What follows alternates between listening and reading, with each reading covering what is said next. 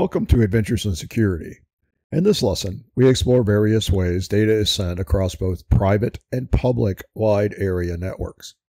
Some of this technology, such as frame relay, is getting harder to find in actual implementation, but you still need to understand it for the exam and for dealing with organizations that still might use it. The script for this video, downloadable from above, is formatted as an easy to use study guide.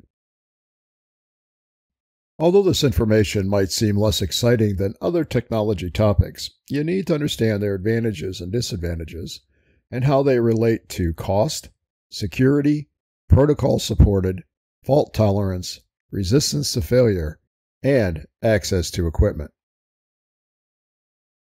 Before looking at transmission media, we need to understand four approaches to user or device communication over that media. The first is Telnet. Telnet, developed in 1969, is a way to access and manage remote devices using a command line. It is an acronym for Telecommunications and Networks, and it's best known for its use on Unix platforms. Using a protocol specified in RFC 854, Telnet represents a terminal like interface to the user. This is an easy to use utility, but it is not secure. Telnet does not support encryption or reasonable authentication techniques, making any attempts at authentication susceptible to interception and leaving the transfer of information open to theft. This utility has fallen from use and is not installed by default on commonly used operating systems. SSH, or Secure Shell, was developed in 1995 as a secure replacement for Telnet. Like Telnet, it enables terminal interface access to remote devices under management. Unlike Telnet, SSH provides encryption for both secure authentication and data transfer using layered protocols that help protect confidentiality and integrity. Connected devices communicate via a secure tunnel, through which pass multiple logical communication channels. SSH largely within popular implementations like PuTTY and OpenSSH, is commonly used today. Entities use the SOCKS Sockets Secure protocol for secure access to devices by passing through a proxy.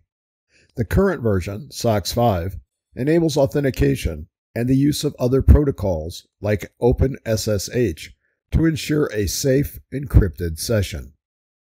It is the de facto standard for circuit level firewalls. All connections to a server, for example, appear to come from the gateway instead of a client. SOCKS is commonly used to manage firewalls and remotely access resources behind firewalls. It is not considered as secure as VPN. Also, it enables users to bypass web filters and other restrictions, so it's one of the protocols security teams must monitor for and manage. Various approaches to WAN communications exist. In this video, we look at four technologies frame relay, ATM, MPLS, and SD-WAN. Frame relay, a technology that organizations are quickly moving away from, is designed to connect local area networks forming a wide area network, a WAN. It replaces an earlier approach, shown here, of point to point connections using full or fractional T1 or T3 connections. Point to point connections are expensive and subject to failure. I once worked for a manufacturer set up like this. A connection between a plant and the main data center was via a single point to point T1 line. Environmental factors occasionally caused the cable to fail, resulting in an interruption in some operations. Frame relay reduces cost and introduces failover possibilities. As shown in this graphic, frame relay is a switched circuit managed by the carrier that uses packet switching to route traffic. If the circuit fails, traffic can be routed around the failure. An organization can contract for one or two frame relay services, switched or permanent. A switch circuit is a short term virtual circuit, or SVC. It's created whenever a circuit is needed for a transaction, and then it's dropped. A PVC, or permanent virtual circuit, is always up and available.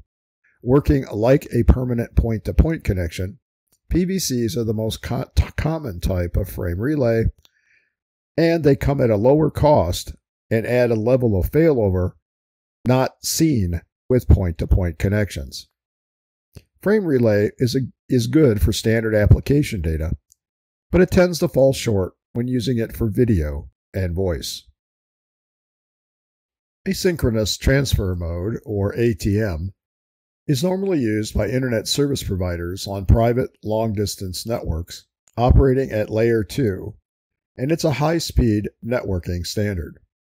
It supports both voice and data communication, designed to integrate voice and data networks.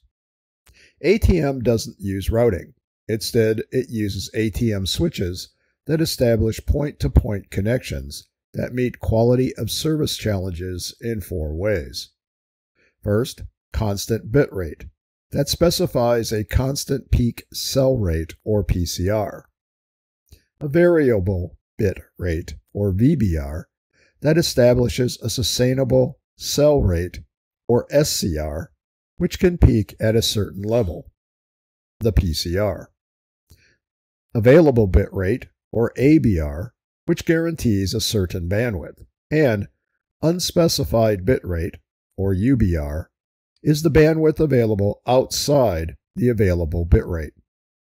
A core protocol used over synchronous optical networking, or SONET, and synchronous digital hierarchy, or SDH, ATM WANs can be provisioned as a permanent circuit or as a connectionless service, with the service provider implementing a VLAN in the cloud. Service providers can also provide ATM service via switched virtual circuits, or SVCs, already covered in this lesson. The use of only frame relay, or ATM WANs, gave way to MPLS, a protocol that blends the benefits of both, using labels to direct traffic.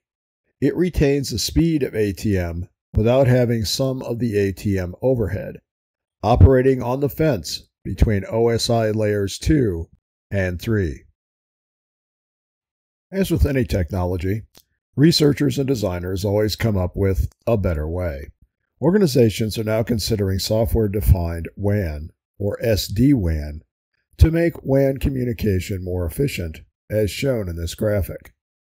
SD WANs use software to intelligently route network traffic based on the most cost effective efficient method available, whether MPLS, wireless cellular, or broadband internet, or other media.